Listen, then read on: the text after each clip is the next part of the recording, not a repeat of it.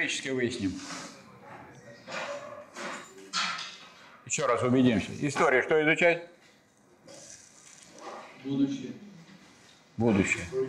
Футурология, да? История или футурология? Наверное, настоящее. А? Настоящее, современный.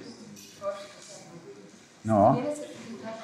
Вот. Вот это вы усвоили, а некоторые еще не усвоили. Историю надо знать для того, чтобы... Значит, еще раз вот мы этот вопрос снова я поднял о том, что изучает история. И выяснилось, что история изучает современность.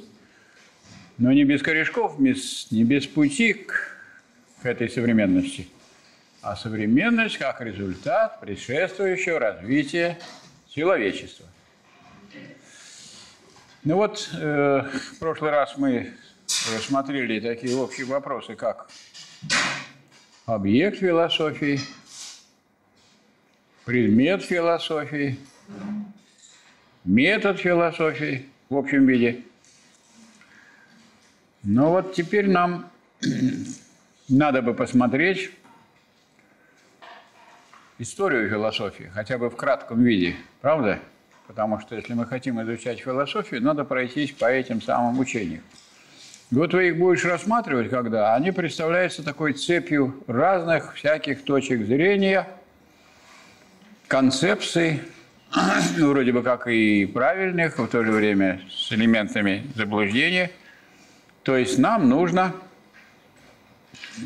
так сказать, по этим вот концепциям и теориям пройтись, но надо помнить, что говорил Гегель, основатель диалектики, ее, так сказать, систематизатор, который построил научную диалектическую систему, которая является результатом развития двухтысячелетнего развития философии.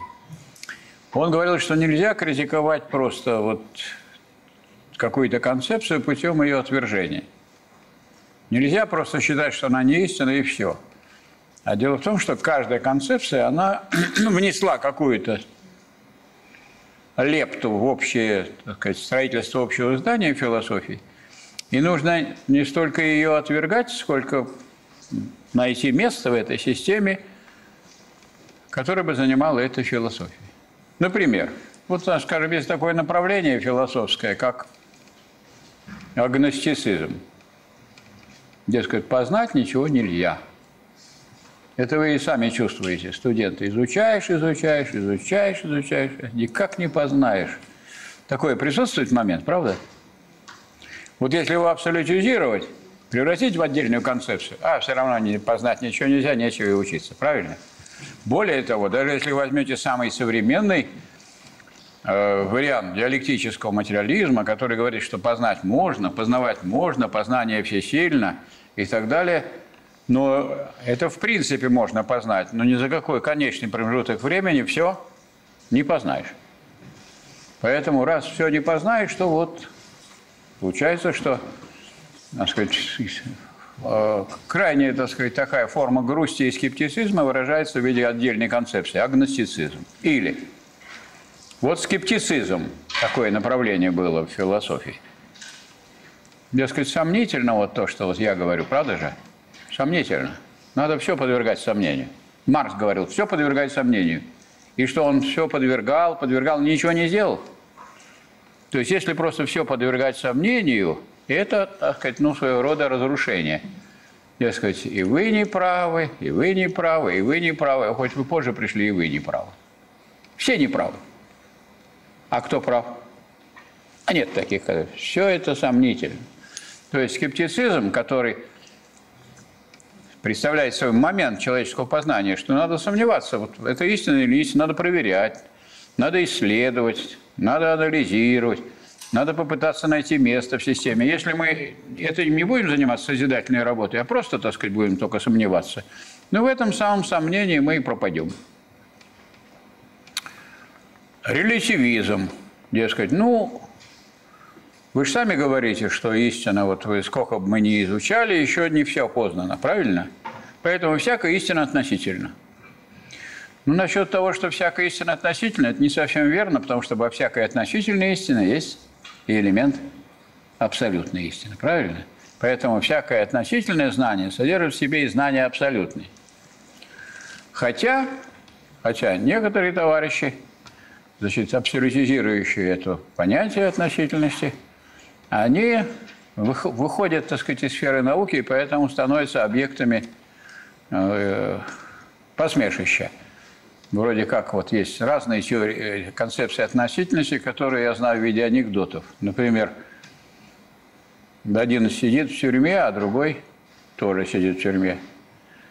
И один, который сидит в тюрьме спокойный, а второй нервный. Спокойный сидит и сидит. А который неспокойный, он туда-сюда бегает. А вот который спокойный говорит, ну что ты все ходишь? Давай я лучше тебе расскажу теорию относительности. А тот, который все бегает туда-сюда, как волк, говорит, ну, это, наверное, будет долго и непонятно. А первый говорит, а я тебе расскажу быстро и понятно. Вот видишь, ты все ходишь, да? Но все ведь относительно. На самом деле ты сидишь. Или второй анекдот на эту же тему. Все относительно. Вот две волосины на голове. мало, а в супе много. Все относительно. И третий. В школе тут взялись мы эту тему рассматривать. Дед влез в вагон и прямо в купе, а там три физика едут. Куда, говорит, вы, ребята, едете? Да еду я на конференцию, мы едем. А что за конференция у вас? Да вот по теории относительности. А что это вот это такое теория относительности? Ну и вот они ему и рассказывают, что это вот про две волосины, что вот на голове мало, а в супе много. А дед не, такой непростой был, говорит, и из-за этой хохмы вы едете на конференцию? То есть все э, то, что абсолютизируется, так сказать, вырывается из общего контекста, оно может превратиться в свою противоположность или даже нечто смешное. Поэтому вот это, об этом тоже не следует забывать, что, конечно, всякая наука, она должна соответствовать понятию науки. А наука – это что такое? Кто-нибудь знает? Что такое наука? Товарищи ученые в становлении, скажите, пожалуйста, что такое наука? Не хотите сказать? Скажите, что пришли сюда тогда? Можно я тогда скажу? Значит, вот если мы возьмем людей, которые много знают, это ученые? А кто они? Все знаете, раз. Знахари, два. Вот я знаю, знаю, знаю, знаю, знаю. Кто я? Знахарь. Ну, правильно же? Вот я знаю, что нужно делать, если то, если это, вот то, если то, вот то. А наука что такое? А наука – это система знаний. Или знания, приведенные в систему. И в каждой системе есть начало. Что такое начало? Вот. Так, как так, давайте, мы вспоминаем, мы уже говорили об этом. Ну, так что это? Вы, ну, давайте, давайте, а вы давайте. Вот. Вот. Есть люди, они не случайно сели впереди, они мне будут помогать все время. Неразвитый результат. А результат что такое? Развернутое начало. Совершенно правильно. Вот когда удается науке так построить все, там все на месте, все моменты. И все взаимосвязи. Но это сделать очень сложно. Очень сложно. Вот, скажем, мы на их таких научных систем то есть таких вот наук, которые удалось построить как науку, знаем немного. Например, химия сумела построить себя как науку. Когда? Когда появилась периодическая система элементов Менделеева. И тогда, не зная, не открывая элемента, можно было указать его свойства, и потом через некоторое время его и нашли. Или две физики, построенные как научная система, правильно, Ньютоновская и Эйнштейновская. А работ всяких в области физики не с числа. Правильно?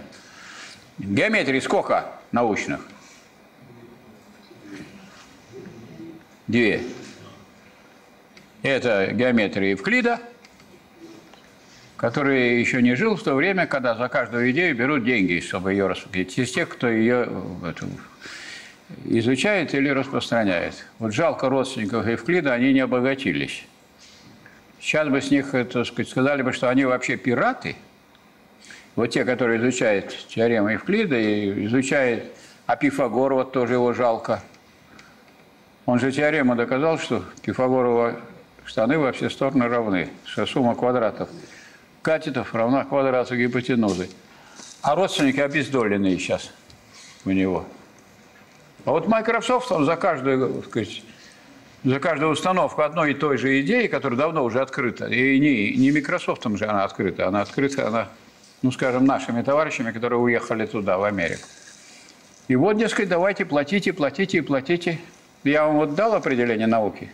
Деньги сдайте, пожалуйста. Что вы смотрите? Сейчас время такое. А иначе, если вы не сдадите, значит, вы пираты. А пираты – это как бы вы одноглазые, с этими кривыми ножами. И черти кто вообще собрался здесь? Вы что хотите у меня узнать? Есть, правда, другой взгляд на обучение. У нас товарищи развивались с нашей же кафедры. Что вот конспирологический такой. Вы зачем сюда пришли? Узнать, что я думаю по поводу философии.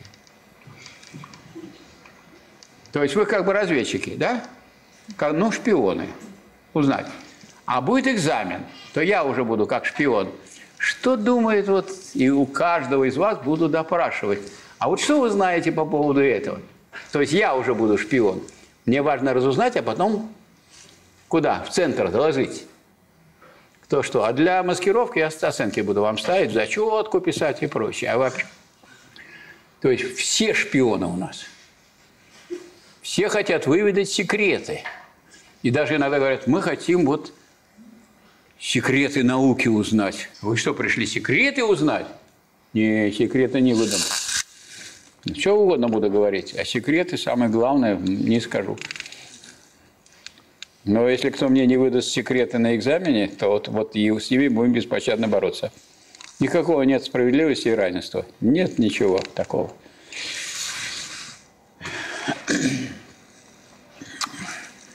Вот поэтому э, с, эти, с этой точки зрения, если мы начинаем рассматривать предшествующие философские концепции, они нам, ну так, представляются по принципу «кто в лес, то подорва». Ну, причем начало осмысления нашей жизни начинается с чего? С того, что первобытные племена поклонялись разным духам, ну, причем каким? Ну, таким довольно близким им солнцу, ветру, грому и так далее. Отсюда потом пошло и многобожие, да? И мифотворчество. Ну, каждый придумает, что он по этому поводу думает. Получается миф. Это плохо или хорошо? Но если у вас ничего другого нет, хорошо. Это если уже есть другое, а вы мне будете миф рассказывать на экзамене, это уже нехорошо. А если бы это было начало вообще человеческого общества, нормально совершенно, миф. Это же оправдано, что люди как к познанию начали двигаться от того, что они стали складывать себе фантастическое хотя бы представление о том, что это означает, то, что их окружает. Правда? И это не просто там, скажем, солнце Аерила, или не просто, значит, гром, а громовержец там – не случайно он едет на колеснице и, и так далее. Потом события развивались так, что вот такого рода настроение и верование, что есть отдельные там боги, оно уже пришло в противоречие с тем, что стали создаваться могучие централизованные государства. Так, у вас царь один, а богов много. Это у нас черти что, распадется наше государство. Надо что-то с ними решать и начали преследовать этих много... у тех, у кого много богов, многобожие. И появилась единая религия. Есть один Бог. Причем, если вы будете читать Ветхий Завет, в Ветхом Завете там постоянно Бог очень обеспокоен, автор, как автор этой вот книги. Хоть он сам и не писал, но вот те, которые за него писали потом, после него, так вот о его имени говорят, что я, я ваш Бог, сожгите свои эти самые и, и своих идолов, и рощи свои уничтожьте дубовые, которым вы поклоняетесь. Я ваш Бог, я, я. Потом он говорит, я, он даже говорит, кто я. Сначала говорит, что он и Егова, а потом выясняется, что он еще и другое имя имеет, Саваоф. И так он все, так сказать, все тут проходит, развивается, все о нем, о нем речь. И вот это единобожие вроде у нас было, а потом как глянем мы на картину современной религии, и опять многобожие. Вроде бы как Бог един, но он вот там вот есть троица, а тут нет троицы. Или вот есть Христос, а есть пророк Мухаммед. Это уже другой. Вот с атеистами не так верующие борются, как между собой – а у вас это если не тот Бог, значит, вы неверная. А что с неверными надо делать? А вы что, не, не шахетки сюда сели, чтобы меня подорвать случайно? Вот смотрите как, смотрите, как вот здорово. Кругом просто пустое пространство, потому что когда будет взрыв, значит, эти не пострадают. Эти сразу в рай улетают, а я, естественно, куда? Ну, понятно, куда. Как у вас все тут рассчитано? Я так и думал, вот, все это не случайно. И мне даже не хотели ключ давать. Говорит, зачем вам ключ? Вам жизнь недорогая. Я говорю, ну, все-таки надо идти. Ну, вот так. То есть, короче говоря, мы от этого, как было, человечество ушло от многобожия? Нет. А от религии ушло? Нет. А э, освоили лозунги французской буржуазной революции, что надо школу отделить от церкви, а церковь от государства? Как они внедрили у нас лозунги? У нас это какое общество? Буржуазное. Значит, святыни у нас какие должны быть сейчас? Ну, французская буржуазная революция. Отделить церковь от государства. Вот приходят руководители и держат свечки. Это что? Кто они? Ну кто вот те, кто держит свечки? Ответьте. А? Что, верующие они? Ладно, не рассказывайте. Пися. Государственные деятели. Красиво и звучит. Так еще какие варианты есть? Мне вот объясняли, что это подсвечники. Это они ничего плохого не содержат себе, они же держат свечки. А и содержания никакого другого нет. Если никто же не доказывает, что это верующий.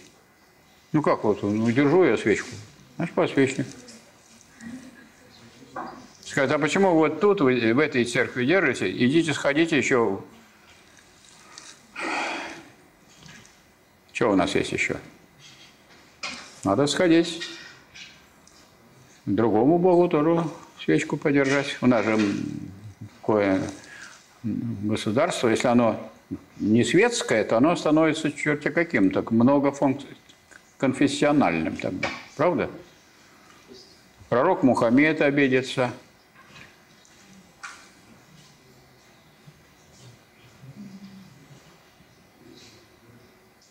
Сторонники ветхозаветной религии тоже обидятся, если не пойдем в синагогу.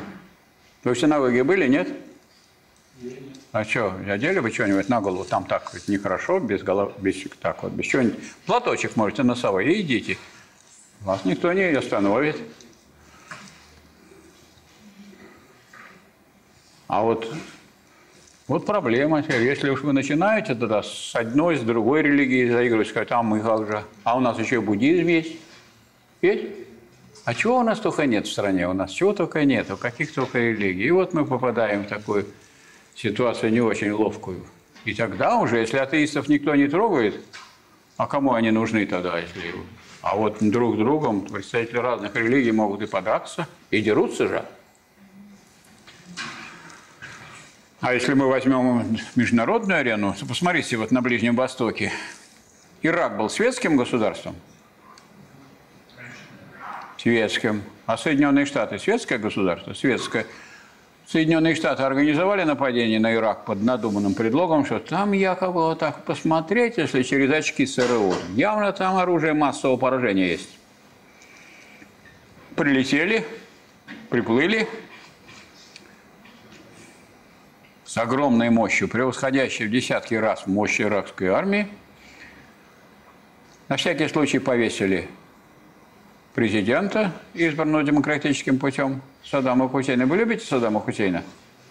Нет, я тоже нет. Но я не понимаю, почему люди из другого государства пролетают и, и раз, и казнили президента. А потом говорят, ну что, как показывает все это мероприятие, включая казнь президента через повешение, нету никакого оружия массового поражения. Тогда остаемся здесь. Но если нету, так вы поезжайте обратно. Нет, мы остаемся. Тут в нефти много. Вот в чем дело. И какое стало там государство? Религиозное, мусульманское. И тогда пошло сунниты, шииты и, так сказать, появление этого самого ИГИЛ. Так, еще одно светское государство было, Ливия. Ливия, да? Намар Каддафи, злодей. Почему злодей? Бесплатное образование. Бесплатная медицина. Молодым, которые выходят там замуж и женятся, значит, машину, так сказать, добра дают сразу на устройство и квартиру. Это нашим ценностям не соответствует. Организовали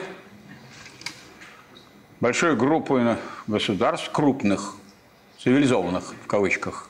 Мы видимо, цивилизованный в том и состоит, чтобы налететь на маленькое государство и его уничтожить. Удалось? Удалось. Есть теперь ливийское государство? Нету. Просто нету государства.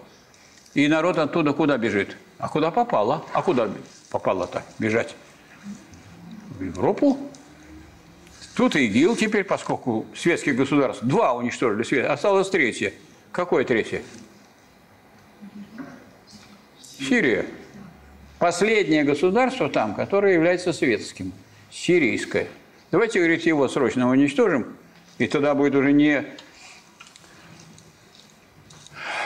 не движение такое, исламское государство, а государство будет. Это вот сейчас оно у нас в России запрещено. А как его государство запретить? Вы можете его не признавать. Это другой совсем разговор. Правильно? Или вы признаем, или не признаем. Ну, не признавайте, другие признают. Думаете, не признают? Найдутся, кто признает. Вон не признавали Южную Осетию у нас. И что? А Россия признала и говорит, и достаточно, если Россия признает. Все. Достаточно же. А что, не вполне достаточно. Так же было, может быть, с этим. Ну и кто тогда организовал все это движение этих самых беженцев? Ну, прежде всего, Соединенные Штаты Америки организовали. А теперь говорят, мы их не пустим к себе. Правильно, пусть в Европе там они, пусть оно вот так все в Европе перемешивается, и тогда из океана Европой хорошо управлять. Вот правильно же?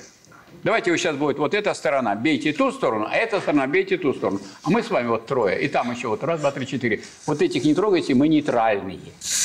Вот вы между собой деритесь, а мы потом то, что от вас останется, мы потихонечку сложим и частично реализуем, что реализовывается. И пойдем кофе пить. Ну, кто организовал беженцев, скажите, пожалуйста. Они еще сами. Вот вы побежите так ни с того ни с сего из дома из дома, из родного, побежать неизвестно куда. Через море идут, через Средиземное море, на, на как говорится, на бревнах, на черте на чем. Деньги платят, тонут сотнями.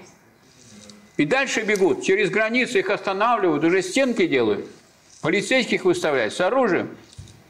Но туда же бегут, конечно, с ними и те, которые... Вот вас убьет маму, папу, а вы придете и будете мстить. Это вроде как плохо вы делаете, но с другой стороны, как-то это понятно, что такое без этого не будет. Не обойдешься, правильно? Но если людей там уничтожили, родителей, семью, дом, они, конечно, будут. И потом приходят они во Францию, а там тебе говорят, а я хебдо.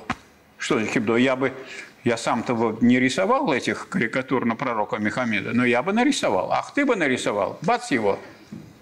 Пришли люди с автоматом, говорят, мы погибнем, но его уничтожим. Причем мы-то полетим в рай, а он в ад. Логично? Когда выходят лидеры европейских государств, и у каждого написано «Я Хебдо». Помните, как они шли? И Меркель, и Оланд, и все вместе. Ну, хорошо, тогда приехал товарищ на автомобиле по Лазурному берегу проехал в Ницце, да? Много-много жертв. И лопухи там во Франции похожи, в отличие от наших.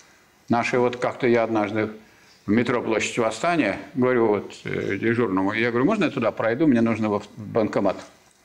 Он говорит, конечно, можно, только давайте сначала пройдем, так сказать, через рамочку. Прошли, мы говорим, ну, пожалуйста, проходите, вот вам сейчас я открою, все в порядке. А там едет машина эта, которая давить потом стала всех.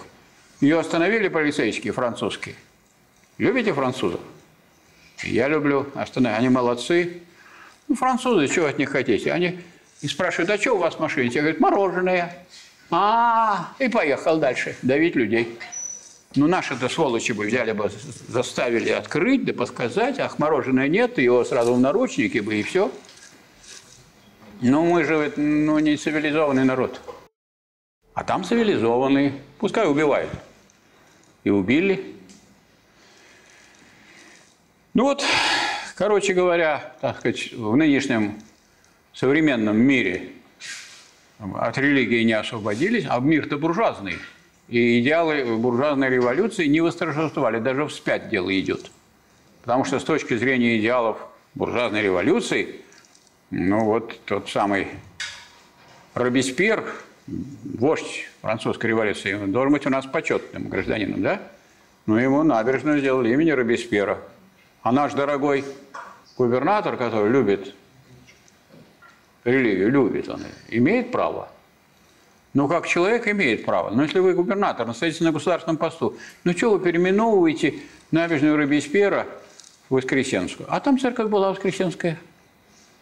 А Робеспьер вам не дорог? Хотел, наверное, переименовать еще и Марата. Остался Марат у нас. Улица Марата. Хотели, наверное, а потом начали думать, а он грязи назывался. Наверное, остановились на этом. Давайте, говорит, Марата в грязи переименуем. Обратно. Могу еще назвать адресок. Под Нижним Новгородом, Новгородом есть город Дзержинск. Ну, с одной стороны, у всех членов ФСБ в кабинетах везде Дзержинский. В Москве, поскольку она не культурная столица, у нее памятник Дзержинского снесли. В Санкт-Петербурге, поскольку это культурная столица, памятник Дзержинскому не снесли. Ну, памятник-то в чем виноват? Вам не нравится? Ну, плюньте. А сейчас им плюнуть даже не в кого, если хотели там. А у нас, пожалуйста, идите на шпалерно. Хотите цветы возлагайте, хотите плюйте. Есть хороший памятник. Спокойно стоит, никого не трогает. Если вы можете проехать, можете подойти, потрогать. Можете поругаться. Потом вот у нас стоит император на Исаакиевской площади. Что, он мешает нам? Что, надо его раздолбать, что ли, эти? А у нас и второй стоит, Петр Первый. Так у нас же сейчас не монархия. Ну так давайте все снесем. Да? Можно вас Меня? Так, за нами пришли. А старые течения, они не присутствуют, как вы думаете? Присутствует. Вот все те, которые сейчас я буду называть, перечислять бегло. Они все присутствуют в современности. Вы их встретите у своих товарищей, друзей, товарищей, друзей, друзей, товарищей и так далее. Почему? Потому что обыватель не бывает без философии. Он кормится остатками умерших философских систем, обыватель, как говорил Энгельс, и обрывками курсов, прослышанных, несистематически прослушанных в каких-нибудь заведениях. Поэтому если системы знаний нет, такой цельной, то не убережешься от э, всякого рода и философских обрывков и огрызков. Вот почему, вот почему то, что я буду сейчас, так сказать, бегло тут называть и перечислять, философские всякие концепции, не надо понимать, что это, дескать, дела давно минувших дней – всякий, кто не обладает самым современным философским знанием, он, естественно, не вообще лишен философии, а он так или иначе поддержит одно из прежних точек зрения. Вот и все. Ну вот, начнем с философии древнего мира. Там же не дураки жили, правда, в древнем мире? Вот основные философские школы. Значит, не направление античной философии. Значит, займемся историей философии. Кратко. Философия древнего мира. Всю историю... Да, значит, философия древнего мира, можно сказать, трех видах представлена и в трех лицах. Это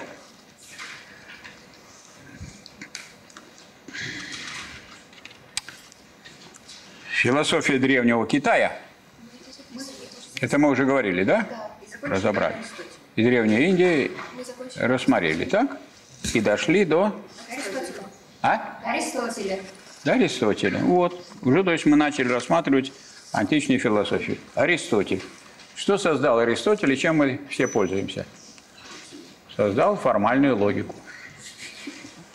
Формальную логику. И все суждения расклассифицировал. И дал им всем название. Поэтому исчерпывающе, можно сказать, эту задачу решил. Поэтому логика с тех времен формальная никак не изменилась. Она просто применяется и будет применяться. И в этом смысле она родилась раз навсегда. У нас много что раз навсегда. Вот люди уже с момента превохождения все ходят на двух ногах. Ну, и иногда некоторые, которые перепьют, те на бровях ходят. А так вообще на двух ногах. То есть уже это не, необратимый процесс. Там, и если уже люди это говорящие животные, то они и будут говорить. Хотя попугаи с ними могут посоревноваться, но попугаи не соображают, чего они говорят. А некоторые люди соображают, чего они говорят. Вот. Теперь у, попугаев только надежда на память, а у нас теперь и, и диски, и флешки, и можно вообще в память компьютера закачать. То есть у нас уже нагрузки на память такой нету, правда? А вот на выведение, да, есть нагрузка. Ну вот. Так что уже, так сказать, начиная с Аристотеля, мы имеем дело не просто с э, какими-то там сказать, просто взглядами, точками зрения, а мы имеем одно систематическое изложение э, логики. И это очень важно. Математика использует полностью эту самую м, аристотельскую логику, и она, конечно, никакой диалектической логики не воспринимает и воспринять не может. Почему? Потому что о, в аристотелевской логике совершенно твердо установлено или одно или другое, противоположное. Третьего не дано. Или А, или не А, третьего не дано. Вот, так сказать, положение об исключенном третьем. Правильно? А если мы начнем смотреть, рассматривать и- живые явления с точки зрения диалектики, уже мы никак не можем этим ограничиться. Потому что если я буду говорить а, о том, что живет и что изменяется, то понятное дело, что вот никак не может получиться, чтобы или А, или не А, или равен самому себе, или не равен. Вот вы равны самому себе? Пока что да. А? Пока что да. Что Потом вы да? мне что-нибудь расскажете, я не буду равна сама себе. А что, мало рассказал уже, что ли? Еще мало. Всё рассказываю, рассказываю, все равно это не в счет, не ценится вообще наука. Значит, ну хорошо, вы за вот уже с начала лекции сколько прошло? Что, ничего не сказал? Это все ерунда, что ли? Ну, вы пока не сказали то, что бы я... То есть вы, вот пока вы остаетесь равны самой себе. И сколько вы собираетесь оставаться равны? До конца лекции? Нет. Как получится. Хорошо, давайте от меня абстрагируемся. Вы вообще вот... А вот я вот заметил так, я не слишком приглядывался, но заметил, что вы дышите. А если вы дышите, у вас вообще кислород-то меняется, там, так сказать, если газ поступает на- наверх, а кислород сказать, поглощаете, да? Заметил я это? Это? А если у нас весь процесс идет постоянно, значит, вы не только ведь равны. Если равны, значит, все, вот, поступило и замерло. У вас что, замерло, что ли? Ну, сердце может замереть, но ненадолго. Но дыхание-то, ну насколько вы можете задержать дыхание? А уже у нас, знаете, сколько с начала лекции? О, если бы это слово не дышали, то конец вам. Все, точно. Все, и все остановилось. Уже у нас, кстати, есть, сейчас воскрешают запросто. Есть у нас воскрешение сейчас как процедура медицинская или нет? Чего вы качаете головой? Товарищ не знает, что у нас есть... А? Может быть, бы проснулась. Только бы, может быть, Да. У нас воскрешает людей наша медицина или нет? Ну, вот интересный молодой человек. Вы что, не знаете, что у нас реанимационное отделение есть в каждой больнице? Объясняю. Для непонятливых реанимация – это ре – это во, возобновление, анимация – это оживление. Снова возвращение к жизни, то есть воскрешение. Правильно? А машинки не ездят такие, нависы на них, реанимация, прямо они оборудованные сейчас. Если что с кем случится, вот сейчас сразу вызови машину, раз, подъехал и вас и оживило. Так? Ну вот я не знаю, это плохо или хорошо. Вы, наверное, не тонули. Я, например, тонул. Из-за того утонул в детстве. Хорошо помню, меня достали, из меня так на коленку положили, из меня вода. Поэтому, когда ко мне прибежала одна аспирантка такая, Михаил Васильевич, а вы верите в реанимацию? Конечно, говорю, верю. Я сам вот, то есть в оживлении, в воскрешении. Я сам воскрешенный. Она так от меня посмотрела, и обратно побежала в другую сторону. То есть это рядовое дело сегодня, реанимация, правильно? Воскрешение. То есть, а вы все наставите, я еще посмотрю на вас, быть ли мне равной самой себе. Я вот заметил, сколько раз вы уже моргнули. А вы согласны, что моргнувший человек, закрывший глаза, и открывшие глаза – это разные люди. Согласны? А чего вы меня тут пытаетесь сказать, что вы еще не еще только вы не подумали, действительно ли вот там от моего дальнейшего поведения будет зависеть, равна я себе или не равна. Само, сам живой человек в чем состоит? Что он и равен, и не равен самому себе одновременно. Но как иначе, как иначе обрисовать изменения? Никак. Никак. Изменения никак иначе. То есть, если он только равен самому себе, он неподвижен. Правильный человек? Есть неподвижные есть. Как они называются? Покойники. Ну, покой, он в покое. Но это относительный покой. Вы же понимаете, если вот покойник, то там начинается какой-то процесс другой. Другой. Поэтому помещают в холодильник, чтобы его замедлить, этот процесс. То есть там это не получается. Это только кажется, что это покой. Там никакого покоя уже нету. Вообще покой нам только снится. Все находится в постоянном движении. Это кого-то удивляет? А как вы изобразите движение? Движение значит быть равным самому себе и неравным. Вот вы находитесь в процессе становления, как мы выяснили, да, историки. То есть историк, который еще, еще и не историк, то есть в смысле, что он обучается, но уже историк. Потому что если кто не историк, то это не, не загромождайте здесь помещение, это сразу выходите. А вот историки становления остаются. Они двигаются от историка неполного к историку как на личное бытие. Правильно? Находится в движении. Поэтому как вы это, хотите остановить это движение и сказать, я еще вот тут буду паузу сделаю, я сейчас замру.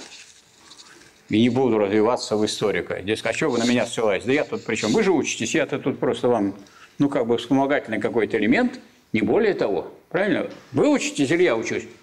Я учусь. Ну, только что вы на меня ссылаетесь? Вот и учитесь. А раз учитесь, значит, вы не равны самому себе, все время лучше, лучше, лучше.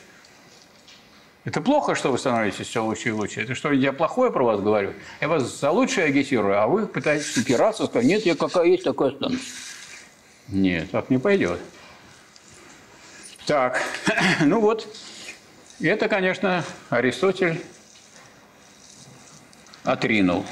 И это сделало его логику последовательной, очень строгой, и эта аристотельская формальная логика применяется там механике, в физике, в математике, в точных науках позволяет запускать ракеты, спутники и так далее, водить корабли, паровозы и так далее, и прочее, и прочее. Но как только мы берем вот ну, то, от, где нельзя абстрагироваться от быстрого изменения, ну, потому что, скажем, вы дом построили, Таврический дворец, и он стоит со времен Екатерины. Про нас это не скажешь. У нас таких нет, никто не сохранился с тех времен из людей. То есть тут категории другие. Тут приходится учитывать, что здесь все время идет постоянное изменение или движение. И от этого абстрагироваться нельзя. Ну вот давайте пойдем дальше. После Аристотеля в основе антологии Аристотеля лежит понятие формы. Форма – суть бытия вещи – Материя в понимании Аристотеля аморфна и бесформенна. Она пассивна, сама по себе недееспособна. Хотя, хотя она источник вещей, но без формы она не творит вещи. Ну и третьим первоначалом, согласно вот Аристотелю, служит целевая причина, а четвертым – движущая причина. Он их как бы делит. Если вот я к чему-то стремлюсь, это как бы причина моего движения, целевая причина. А если что-то меня в спину толкает, то есть побуждает изнутри, это вот движущая причина. И различает. И в том и другом случае это рассматривается как причина какого-то действия. То есть производится определенная классификация. Экономический и политический кризис Греции отражается и в греческой философии. Наиболее интересным в этот период является кинизм, скептицизм, стоицизм, неоплатонизм и учение Эпикура. На этом мы и остановились в прошлый раз. А Эпикур, так сказать, он, так сказать, во главу угла поставил удовольствие. Что, плохое что-то в этом есть? Ну, удовольствие же неплохо, это тоже хорошо. Но если все это сводится только к удовольствию, то, в общем, тут вряд ли мы сможем объяснить жизнь человечества и историю.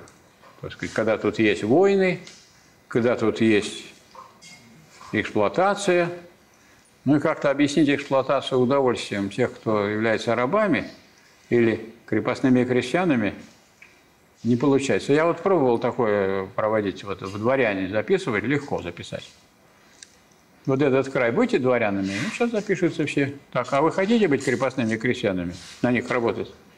Что-то хожу, хожу с бумагой, никто не записывается. А чего вы не записываете? А не хотим. Поэтому обратной дороги от, от, от буржуазного строя назад к феодализму просто нету. Сколько бы ни придумывали всяких ряженых, которые ходят там, э, говорят о монархизме, что мы монархисты. Ну какой монарх без феодализма? Это форма, характерная для феодализма. Это ряженые вовсе, а вовсе никакие не монархисты. никакие у них поэтому партии не получаются и не получится. Все это проехали уже. Они исторически пройдены. А маскарад можно всегда делать, пожалуйста. Все дети любят девочки принцессами, парни принцами. Быть мальчики, что, плохого? И отговаривать не надо. Это тоже они в детстве, это детство человечества. Вы против того, чтобы быть принцессой? Между прочим, не надо работать, а деньги идут. Хорошо же, соглашайтесь. Но эта вот публика не хочет на вас работать. Не стыдно вам? Вон, какие люди хорошие. А вы не можете поработать 4, 5, 6 дней, 7 в неделю для блага по той половины. Не понимают, нет. Ссылаются на буржуазную революцию. Это давно было. Забудьте ее. Уже сейчас он уже и церкви везде поднимается. Все передают церк церквам, а то, понимаешь, придумали. Какое-то там светское государство. Дало это светское, давайте религиозное все сделаем. Так, переходим к средневековой философии. Все. Средневековая философия – Каковы социокультурные предпосылки возникновения и распространения монотеистических религий? Философия эпохи Средневековья имеет следующие черты. Первое. Философия развивается под законом примата веры над разумом. Ну, пойдите, спросите патриарха Кирилла, что выше, вера или разум? Что вам скажет патриарх Кирилл? А? Вера. Ну, такой был портрет его в российской газете, такой советский паренек был хороший такой, работящий. Ну, сейчас он вам скажет, что вера, конечно, выше. Почему? Вы от чего деньги будете получать? От веры или от разума? Ну, как кончите, исторически кончите и будете работать, вы будете от... От, от разума, наверное. От разума. Но если бы вы были от веры, вы бы по-другому ответили. Правильно? А у нас вот я учился с одним, Федоров фамилия, на Матмехе. Как-то его встречаю в пригороде, он говорит, я говорю, кем работаю? Да я, говорит, семинарию закончил, сейчас работаю батюшкой. Работа не пыльная. Это не шахтер, и не фрезеровщик, и не намочица, и не тростильщица. Это вот этим надо вставать в 4 утра. Не, ну у них свои трудности. Вот когда ночные крестные ходы, это сложно. Потом это все ночные, это как ночные смены все равно. Все ночные, правда? То есть есть свои трудности у них. Но важно, что вот в этот период, который мы говорим о Средневековье, окончательно победил монотеизм, все, расстались с этими верованиями, а то придумали солнце, Бог, гром гремит, опять Бог, дождь пошел, еще Бог. Ну, невозможно это зачислить. Надо вот, чтобы был один, царь один, Бог один, и пусть они вместе и работают. Один обеспечивает руководство, а другое идеологическое обеспечение этого руководства. Все в порядке тогда, все нормально. Так вот, философия развивается под законом примата веры над разумом. Главенствующая форма познания какая? А? Вот придете вы на экзамен, я буду вас спрашивать, а вы смотрите, смотрите, вам раз, и откровение вам, что надо вот это как ответить. Откровение, вот. Это красиво звучит. Это не то, что вы выучили и пришли, рассказали. Это скучно. А то так смотрели, смотрели, и так вот вдруг вам мысль в голову пришла, и...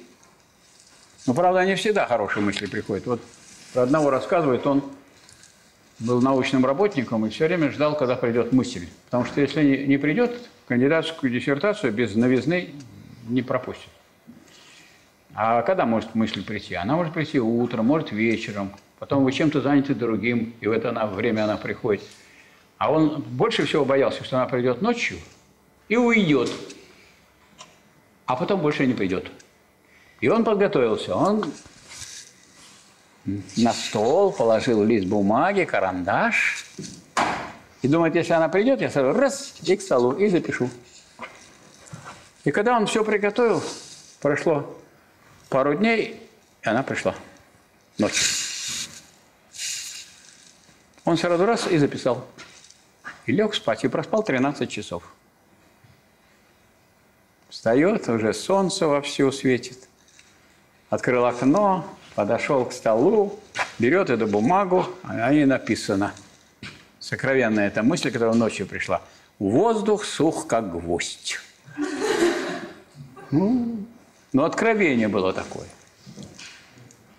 Допустим, не учите вы эти экзамены, не слушайте, что я вам говорю. Придете на экзамен, и вот вы видите меня, и тут откровение у вас. Раз и мне. А я раз вам и что? Ну, уж не, не знаю, какое у меня будет откровение после вашего откровения. Ну, риски есть, конечно, правда? Есть. Как-то не совпадут откровения, и все. Ну, был такой метод, это в истории так было. Ну, звучит хорошо. Главенствующая форма познания – откровение. Священные тексты. Какой у них? Ну, не то, что полезно, неоспоримый авторитет. Это что значит? Вот у меня я книгу написал – Книга называется «Социальная диалектика». Вот если бы я в то время написал, это был бы неоспоримый текст. Что значит вы оспариваете? Вы как, как еретички тут собрались. Вот написано у меня.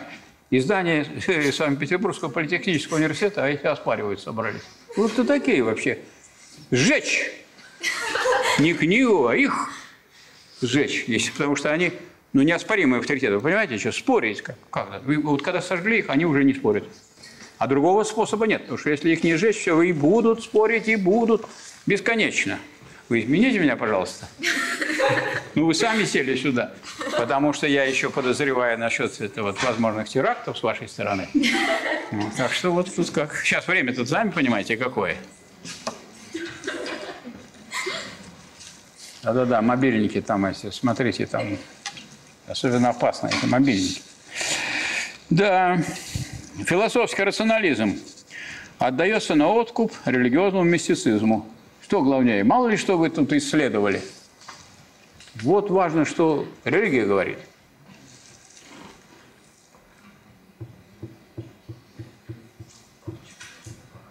Кто создал мир?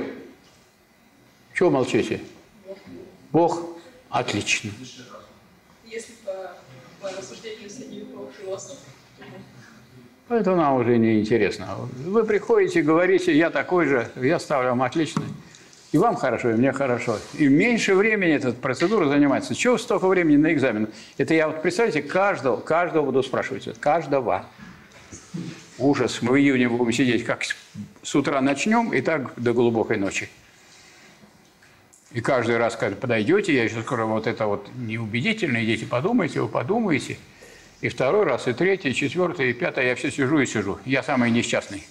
Потом некоторые уходят, а я все остаюсь и остаюсь. Страдать буду до конца. За вас буду страдать, так вот в религии. Что вот он, Бог страдал же за всех. И я за всех буду страдать. Последний уйдет, я перестану страдать. Но мне кофе однажды принесли студенты. Когда увидели, как я страдаю уже на пятом часу экзамена. Я сразу стал лучше ставить оценки сам на бал. Ну, настроение другое как-то. Показалось, что и правильно, в общем, отвечает. А что я придирался раньше-то? От злости, наверное, от голоду. Да, так что вот с этим рационализмом покончили. Провозглашается принцип единобожия. Никаких других богов, чтобы и слухов, слухов не слыхали, и видом не видали. А философские идеалы познания сводятся к толкованию священных книг. Вот эта книга священная, значит, сам Бог ее не писал, потому что это ниже его достоинства писать книги, потому что он пришел к людям с разговором, или как вот по-другому сказать, по-религиозному звучит так. Христос возвестил свое послание, доверившись живому слову.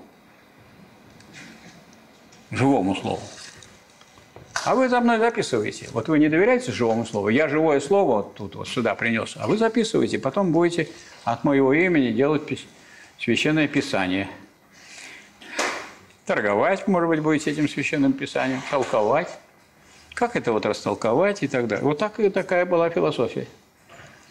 А что, у нас такого не было? А вот не слышали такой концепции развитого социализма, нет? Конечно, слышал. А чем она не похожа на это? Какое-то писание, причем авторов не найти. Я пытался найти, чтобы их, как говорится, поддать под суд.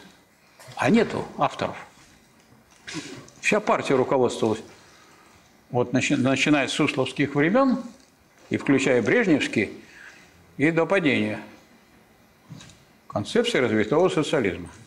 Ну, с точки зрения науки, это, в общем, это что-то вообще невообразимое, потому что социализм – это что такое? Это неразвитый коммунизм, правильно? Если его развить, что получим? Полный коммунизм. А социализм просто не полный коммунизм, не зрелый, не спелый, низшая фаза. Разовьешь, получишь полный коммунизм. А тут он развитой, но не коммунизм. И что это такое тогда? То есть это тут даже противоречит аристотелевской формальной логике. Вот я был однажды в эти времена в Белоруссии, в Гомеле. Там есть завод Гомсель, Гомсельмаш. В гостинице я утром просыпаюсь, газетку купил, «Звезда». Читаю, там написано. Мы вступили в этап спелого социализма. Думаю, здорово. Спелый сейчас сгниет и упадет. Ну, спелый. Или народ шутил, мы вступили в этап разве то социализма. Причем все слова отдельно пишутся. Разве то социализм. Другие говорили, что это такая высокая стадия социализма, когда еще за деньги, еще ничего, да без денег еще ничего не дают, но уже и за деньги ничего купить нельзя.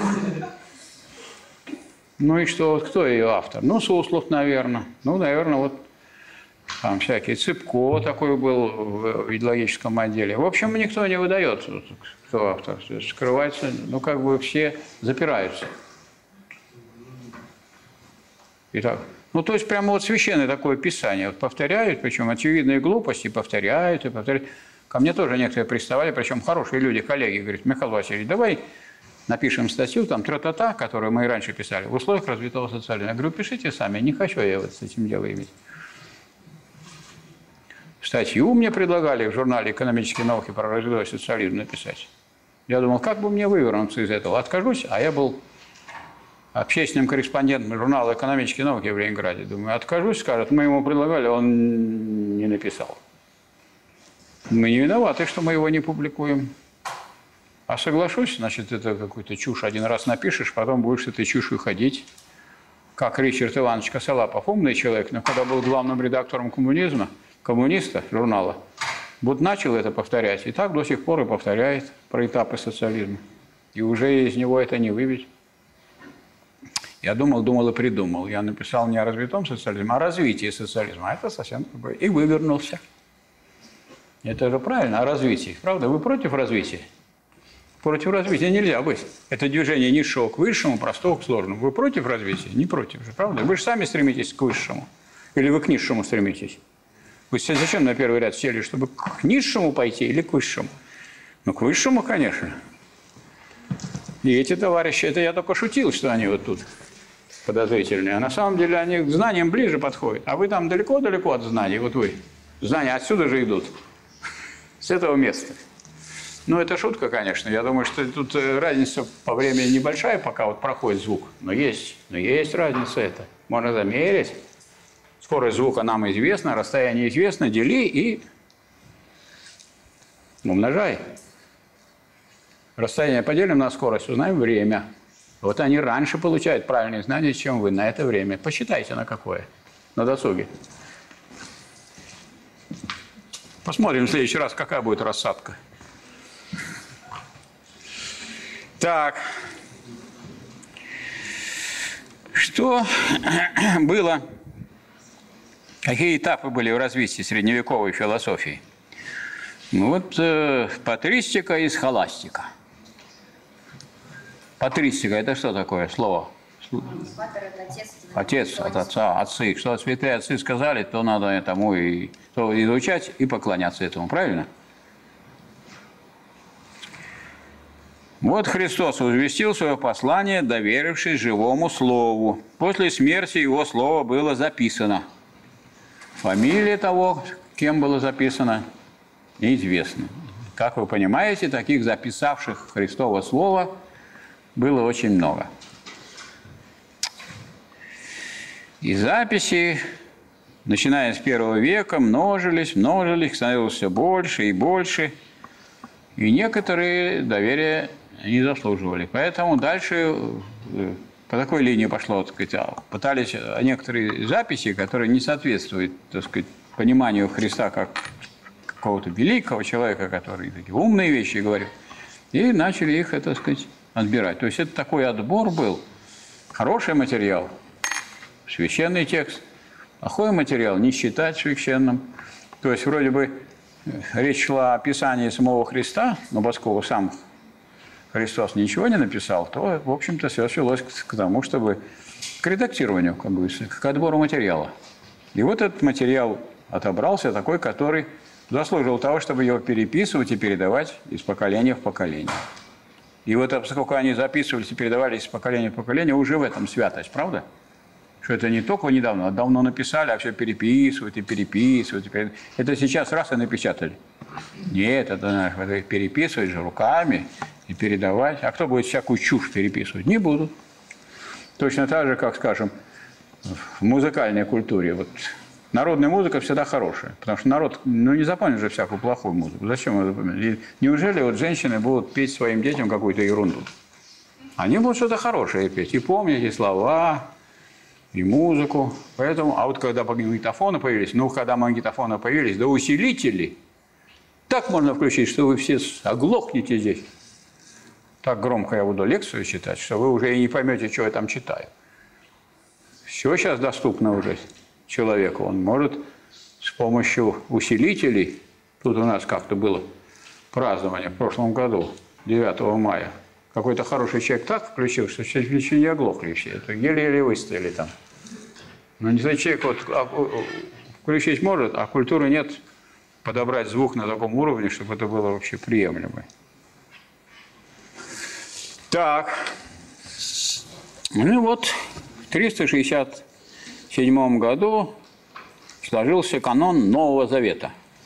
То есть отбирали, отбирали, и вот уже это дело пришло к тому, что уже и канон есть Нового Завета. Думали, что как канон появится, не будет больше потока этих священных текстов, а все равно их до сих пор пишут. И причем каждый, кто приносит что-нибудь, иногда в издательство приносит, в журналы – научные, нам приносят, говорит, вот Ян Михайлович написал вот это вот. Никто до меня ничего это не понимал, теперь я понял. Но я так понял, что он не просто он понял, а он как бы вот, ну как бы новый Христос, он вот принес уже.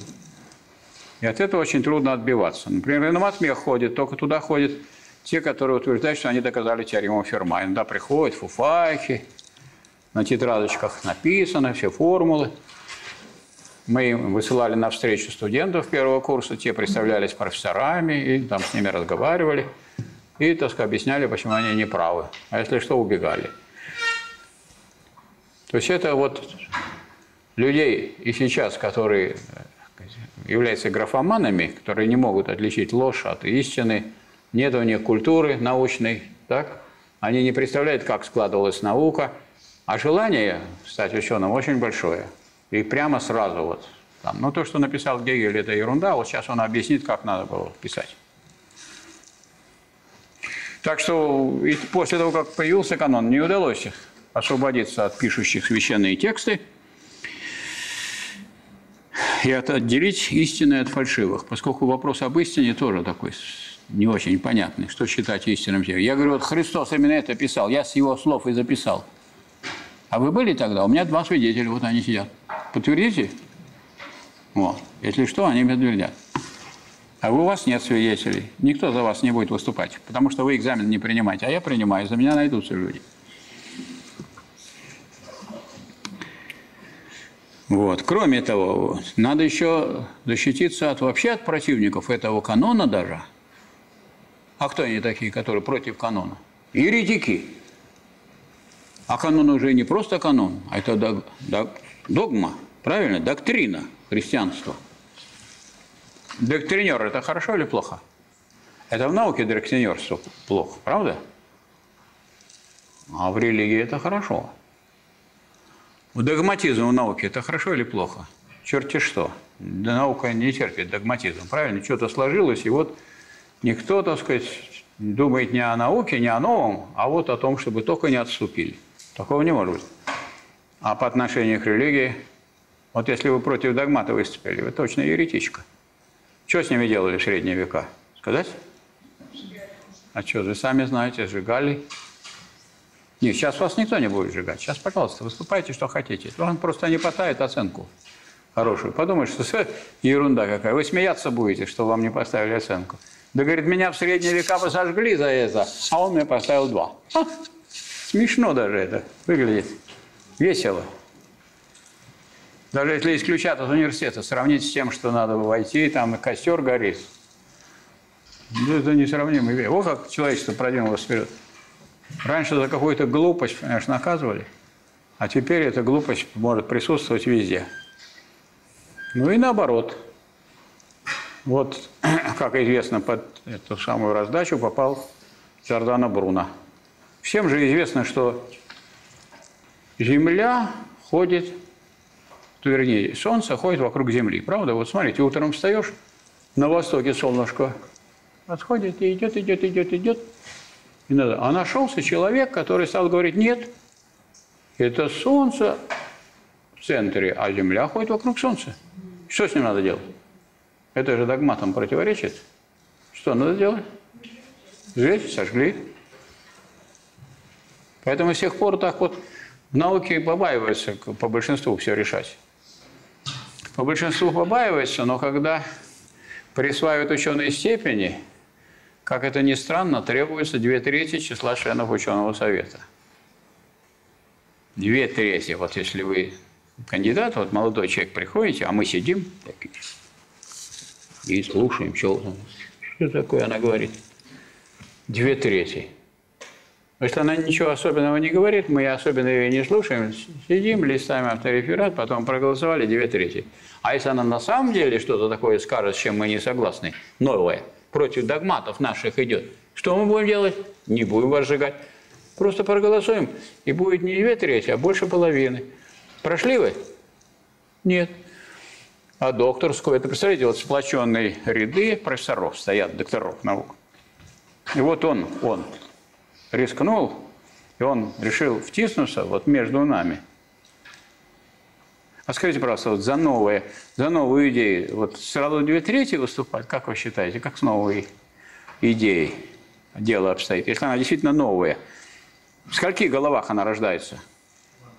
В одной. Но если в двух, это очень большая редкость. У Маркса Энгельса только. Сразу в двух головах. И то, наверное, вот у Энгельса раньше родились принципы коммунизма, а потом вместе дописывали коммунистический манифест. И вот она у вас родилась в одной голове, вы хотите, чтобы две трети за нее проголосовало. Странный человек.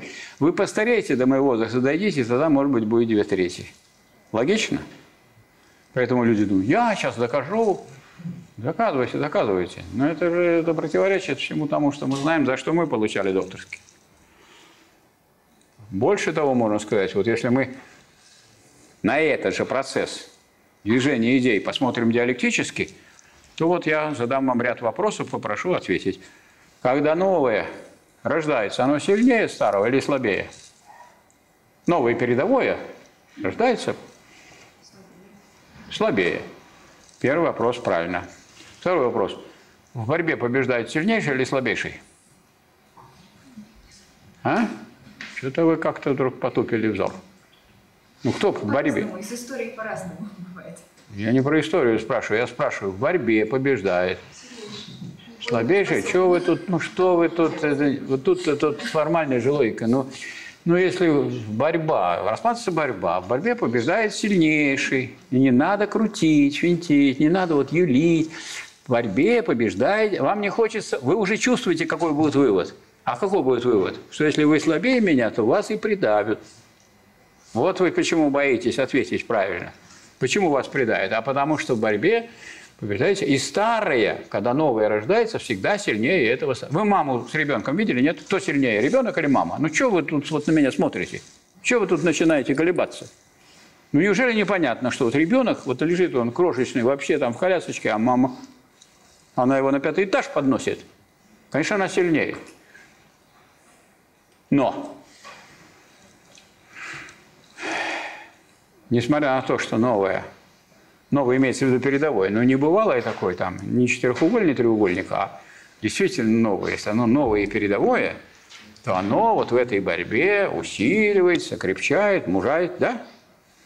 Поэтому его, оно хоть и терпит поражение, но оно в этих поражениях укрепляется. Поражение разве это только минус?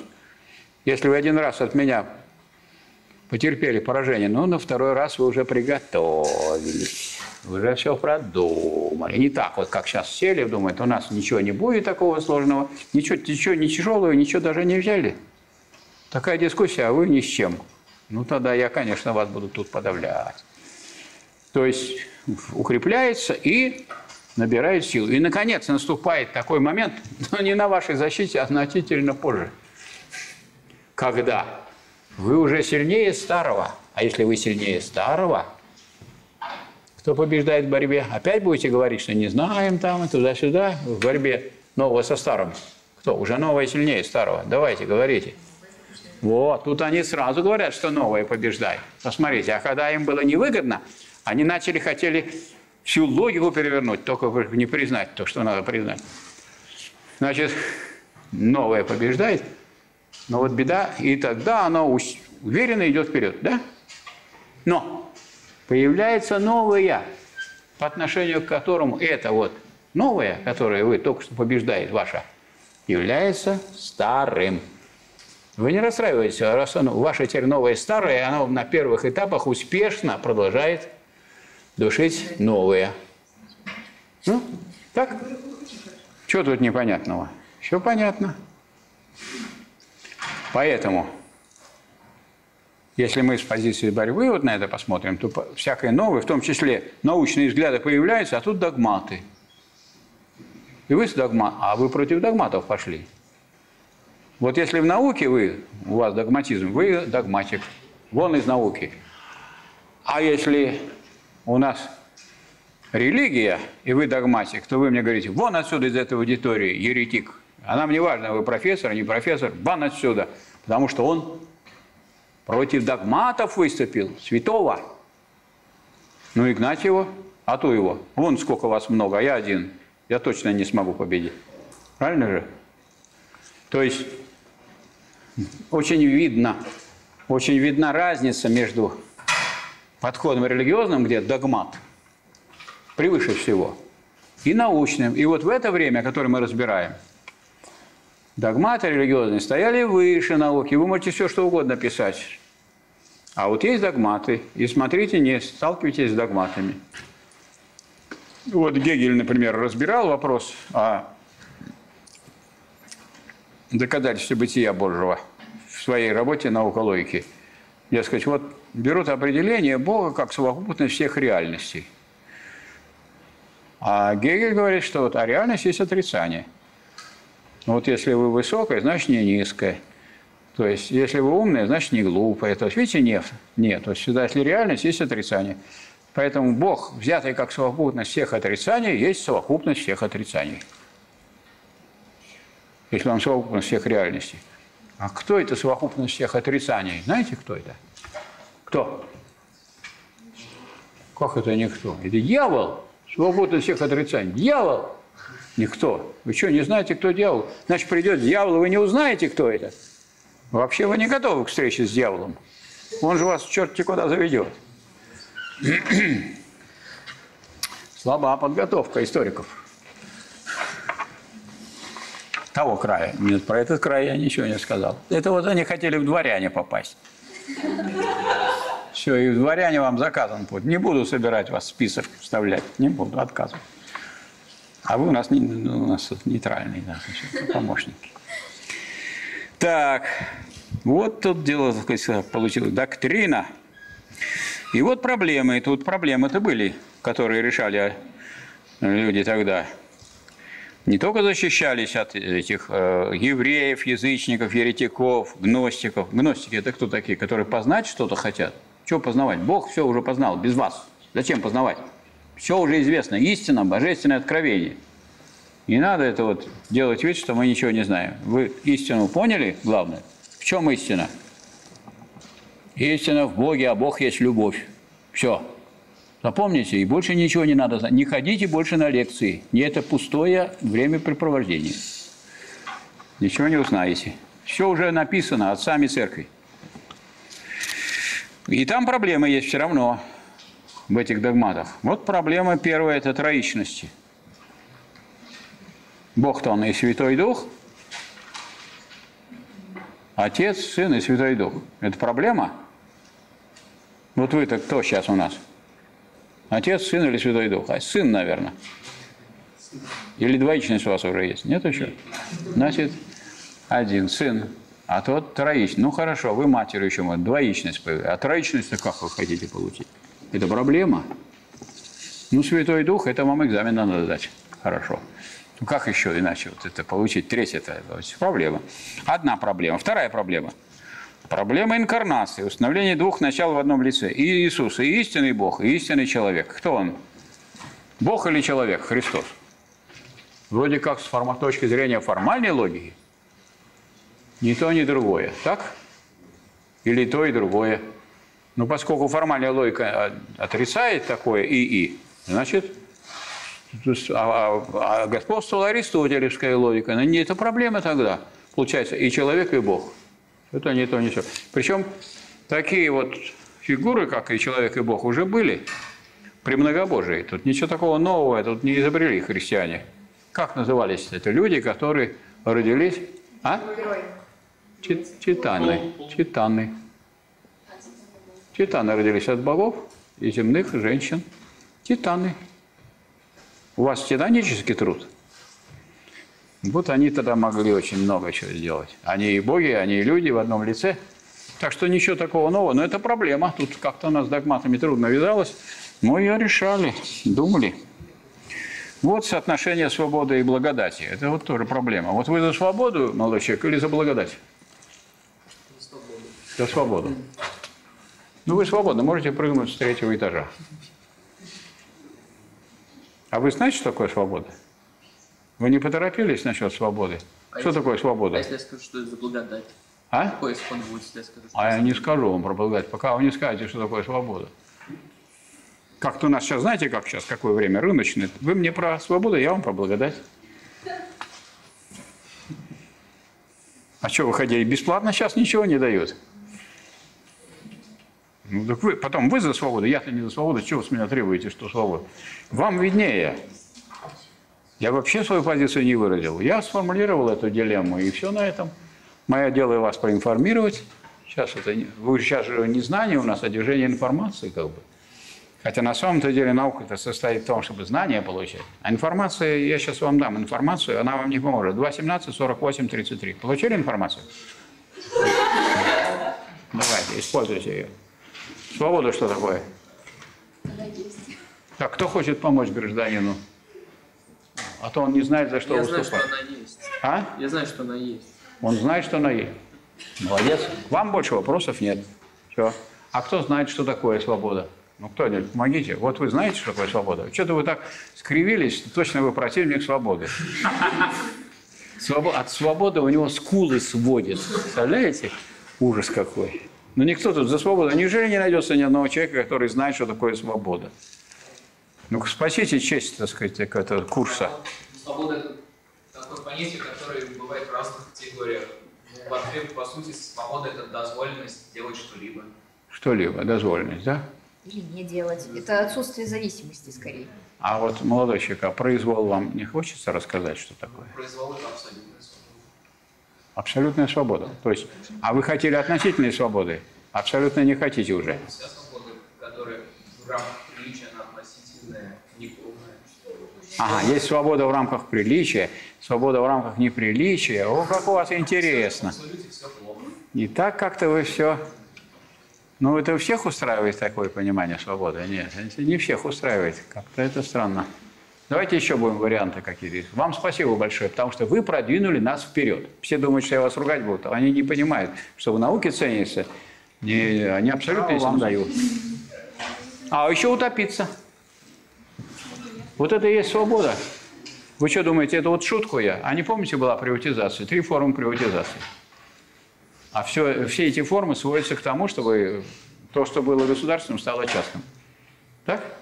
Ну, то есть то, что я говорил, так сказать, что либо так, либо так, либо так. Или предложили, чтобы не были шуточные такие примеры, референдум был 17 марта а, 1991 года о существовании СССР. Слышали такой референдум? И вот рассказывают люди темные, что, дескать, народ проголосовал за сохранение СССР. Вы читали там какие слова? За что голосовали? У вас есть, у кого-нибудь есть вот интернет под рукой? Какой там был вопрос? Ну, я могу вам на память сказать. Вы за обновленный союз советских социалистических республик как союз суверенных государств, и дальше в котором и так далее. Союз суверенных государств – это единое государство или разделенное? Разделенное. И сколько человек за разделенное государство проголосовало? 70% голосующих. А спроси их, они говорят, мы голосовали за Советский Союз. Да вы голосовали, у вас в начале стоит вот предложение Советский Союз, а вы из Союза нерушимого республик свободных, которые свободно соединились в Союз, проголосовали за то, что был Союз суверенных. Ну что такое суверенность? Независимое государство. Конституция мыслима Союзу суверенных государств. Вот Горбачев там вроде собирал людей, писал проект. Какой может быть проект? Если у нас с вами единое государство, и мы с вами суверенные государства, какая нам Конституция? Вот что бы вы ни решили, я выполнять не буду. Что бы мы с вами вместе не решили, вы не будете выполнять. Потому что вы не обязаны выполнять никакие решения, кроме своих собственных. Нет никакого государства. И вот втянули народ в это дело. Кто втягивал? Ну, Александр Николаевич Яковлев с Михаилом Сергеевичем договорили, подсунули. Учитывая ваше понимание свободы, это можно было делать. Если бы только у вас такое было понимание, ничего страшного. А такое массовое оглупление, что вот такое понимание свободы, как свобода выбора. Вы тоже хотите утопиться или повеситься, или застрелиться? Чего вам еще предложить? Отравиться. О, четыре варианта. Я считаю, что свобода – это отсутствие вообще любой зависимости. Что- что это? Это отсутствие любой зависимости. Отсутствие любой зависимости. А вы от пищи, у вас нет зависимости? Так, больше не давайте еду. Как и питье не давайте, потому что это под любое подходит и питье, и вода. Да, ну ладно. Ну, последний путь вас провожаем. Чего? Отсутствие. Ну, то есть это еще о чем говорит? Что я же говорю, вот мы сейчас как бы изучаем старые философские всякие концепции, а что не тронь, вот оно актуально сейчас. И были разные такие понимания свободы, были и такие, и такие разные. И было такое ну, продвинутое понимание свободы у Гегеля, и потом его цитировал Энгельс. Свобода есть осознанная необходимость. Слышали? Вот вы записываете, а что записывать будете? Вы подумайте, стоит ли записывать? Сейчас я про него расскажу. А что я вам расскажу? Раз это вы стали записывать, вот вас, вы украли 100 тысяч рублей. Ну, вы-то не украли, но представьте себе. Вас поймали на этом деле и посадили в тюрьму. И дали вам 5 лет. Вы два года просидели, а чем тюрьма хороша? Я не буду говорить, чем она плоха, а чем хороша. Что можно подумать над ситуацией. Вы два года подумали, это я сейчас вам не даю, я плохой, потому что сразу с вас требую ответ. Вы скажете, что я серьезный человек, а, а вы мне дали одну минуту. Я, конечно, и сказала, что он мне вбрело на ум. А так я бы посидела годика два. И вот, и вот вы пришли к выводу, что, а, воровать нехорошо, что решение суда правильное, что наказали вас правильно, и вы это все осознали. То, что вы сидите в тюрьме, это необходимо. Осознанная необходимость? Осознанно? Ну, свобода – это осознанная необходимость. Вы осознали. Значит, три года вы сидите уже свободно. На свободе вы уже, но никто, правда, из тюрьмы не выпускает. Ну, час дают вам погулять? Вы часто не гуляете час. В тюрьме-то свобода, там гулять час каждый день. А тут, наверное, большинство, наверное, не гуляет по часу в день. Где гулять-то? Когда гулять? Учиться надо, то все, пятое, десятое.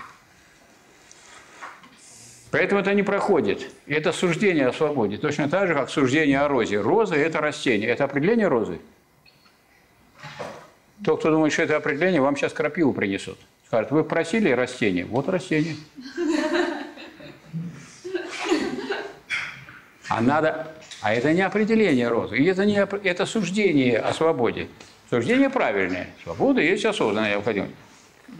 Хотите, я вам дам определение свободы? Вам понравится. И вам понравится. И вам, кстати, понравится. Свобода – это очень мало распространено. Ну, как всегда, последние философские, так сказать, определения, они не освоены. А большинство, вот оно живет старым, прошлым. И чем дальше от философии, тем более старым оно и живет. Значит, свобода – это господство над обстоятельствами, сознанием дела. Маркс так сформулировал. Свобода, свобода над обстоятельствами, сознанием дела. Все понимают, что если обстоятельства господствуют над вами, вы не свободны. Вот если вас сюда привело на лекцию не желание там, а вот ну, обстоятельства, не придешь, начнут преследовать, потом не поставят оценку, потом, возможно, выгонят. И вот вы пришли, сидите, страдаете здесь. Когда это закончится мероприятие? Да? Тут уже помощники ваши приходили, говорят, до трех часов освободите, пожалуйста, у нас ученый совет. Я их отправил к директору. Вы там сначала решите, где будет ученый совет, а здесь у нас занятие. Мы тут о свободе рассуждаем. Какой ученый совет?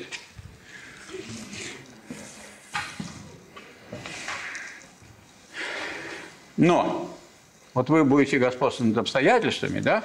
Это лучше, чем обстоятельства господствовать над вами. То есть, когда вы ничего не можете сделать, просто действуйте ну, в соответствии с тем, что вы в тисках этих обстоятельств. Нужно и это делать, это делать, это делать, и не, некогда-то. Какой там, какая там свобода выбора?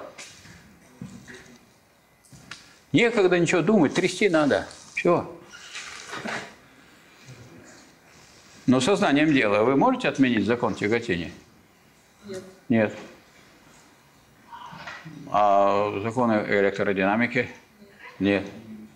А вот если я захочу это там два конца, 380 вольт, надо туда так вот так делать пальцы, нет? Нежелательно, да?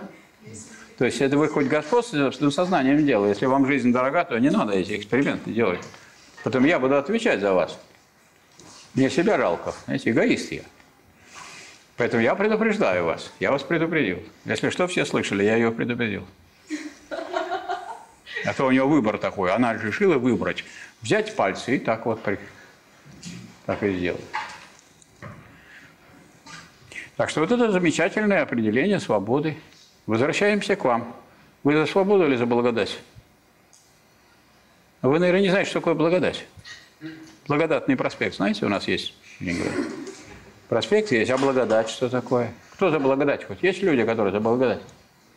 Ну что, плохое что-нибудь я говорю? Благодать. Не хотите, что вам благо дали? Не хотите? Не дадим. Что, против благодати?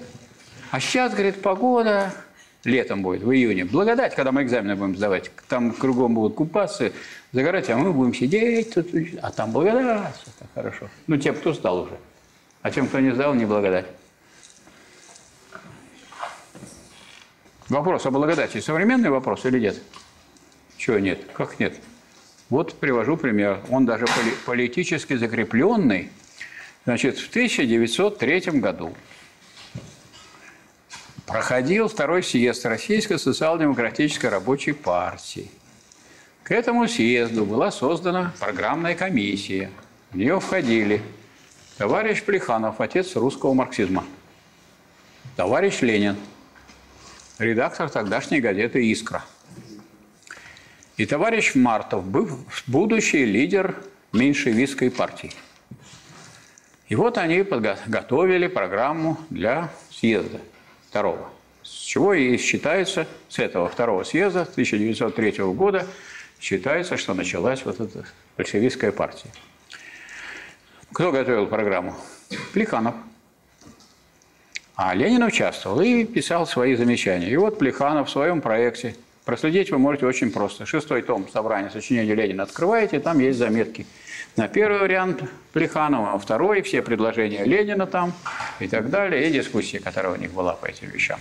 И вот там, в частности, причем дискуссия по многим вещам интересна. В том числе, например, вы знаете, что Ленин был сторонник диктатуры пролетариата.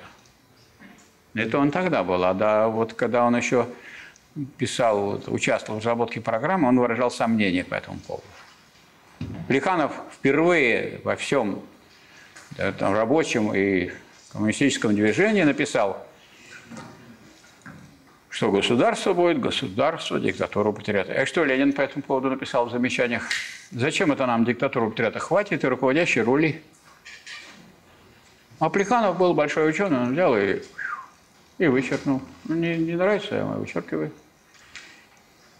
В следующий раз представляет Плеханов вариант, уже без диктатора. Ленин говорит, а вы что представили? В прош- в прошлом-то варианте диктатура пролетариата стояла. Марс в критике Готской программы, Энгельс в критике Эрфордской программы, германской социал-демократии сугубо на это указывали, что это самые главные условия.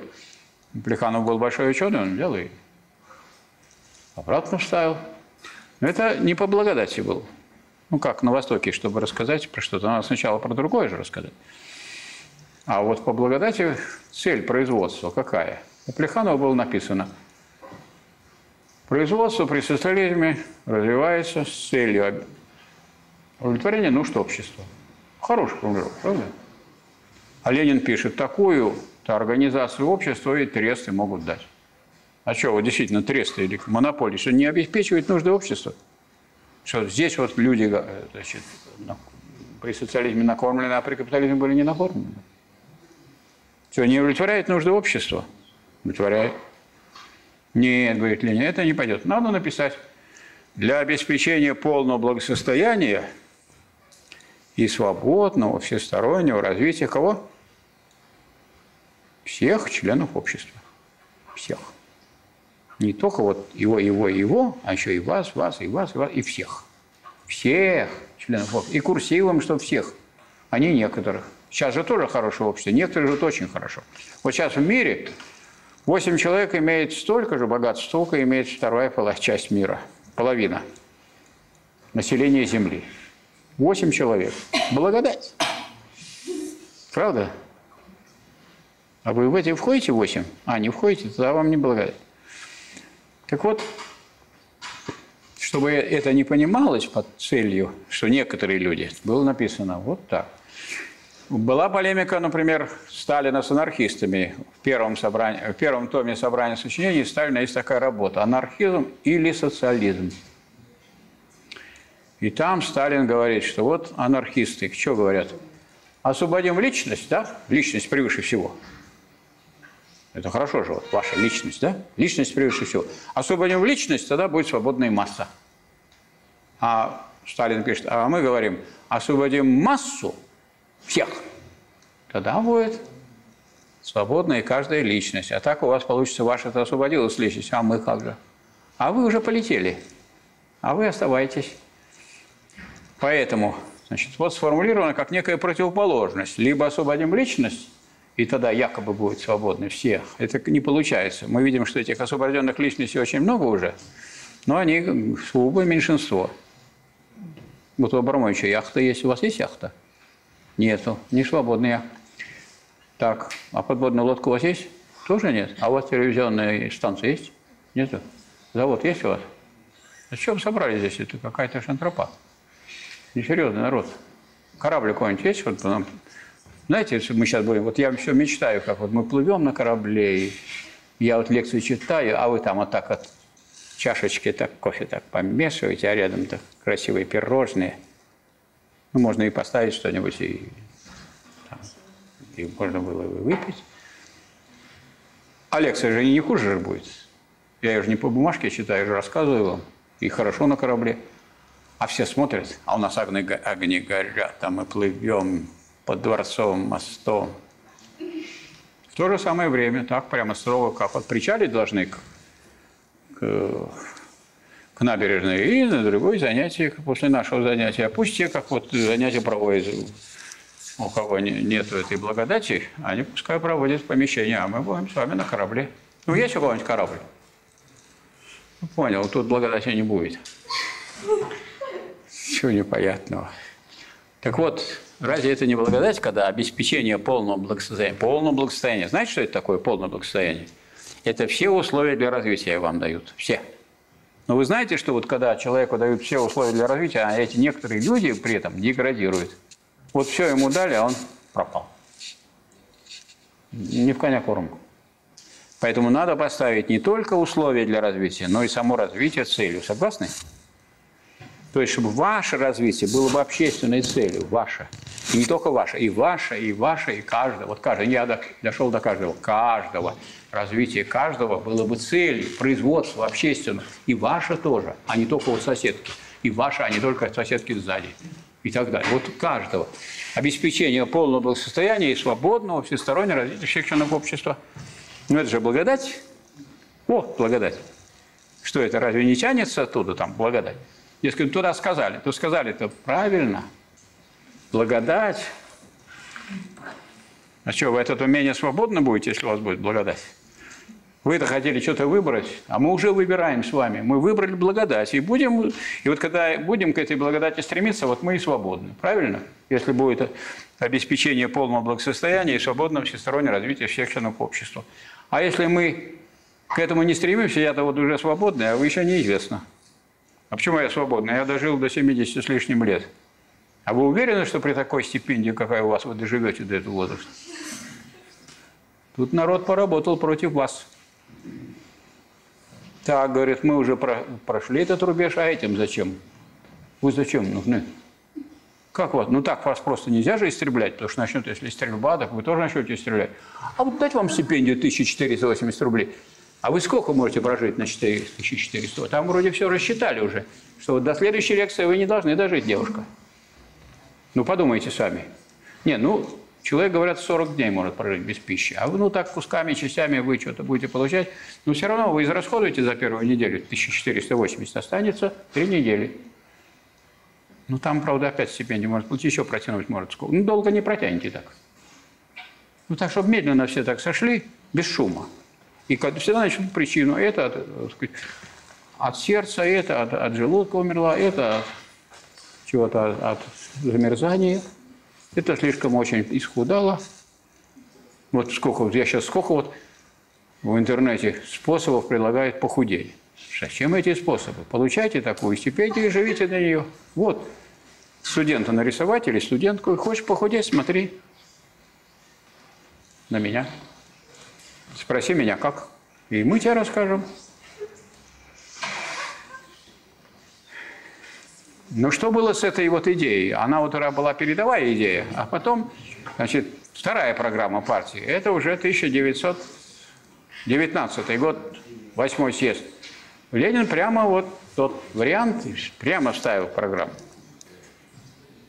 Обеспечение полного благосостояния и свободного всестороннее развитие всех членов общества. Проголосовали единогласно и забыли. А вот когда пришел Никита Сергеевич Хрущев, говорит, надо с этим что-то решать. Это же культ личности, когда каждый будет развиваться, правда? Все. Вот когда я развиваюсь, это не культ личности, а когда и вы, и вы, и вы, это мне не нравится. И записали плехановскую формулировку. Ну, типа плехановской.